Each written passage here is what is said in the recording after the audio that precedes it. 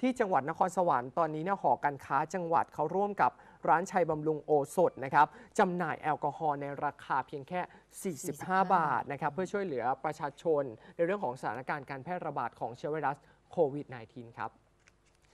ซึ่งทางด้านของนายทันตแพทย์ สมยศน้าลำเลียงนะครับประธานหอการค้าจังหวัดนครสวรรค์พร้อมด้วยนายเทียนชัยจุธากร รองประธานหอการค้าของจังหวัดนครสวรรค์นะครับก็ได้ลงพื้นที่จำหน่ายแอลกอฮอล์ให้กับประชาชน ที่ร้านชัยบำรุงโอสถนะครับสืบเนื่องมาจากเจ้าเชื้อไวรัสโควิด -19 นี่แหละครับ ได้แพร่ระบาดทำให้แอลกอฮอล์และก็หน้ากากอนามัยที่เป็นส่วนประกอบที่สำคัญที่ช่วยป้องกัน และก็ลดการติดเชื้อ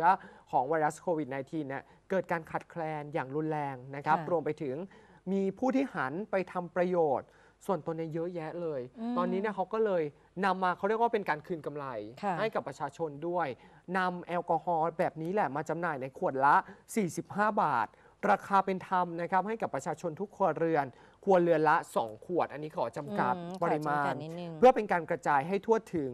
จึงจำหน่ายตรงนี้เนี่ยเป็นระยะเวลา 5 วันนะครับจำนวน 2,000 ขวดกว่า 1,000 ครัวเรือนเลย ก็ได้รับประโยชน์กันไปประมาณ 1,000 ครัวเรือนนะคะ โครงการนี้นะคะก็เป็นการจำหน่ายแอลกอฮอล์ในราคาที่เป็นราคาที่ย่อมเยาวมากนะคะ เพื่อที่จะช่วยบรรเทาความเดือดร้อน แล้วก็การขาดแคลนอ่า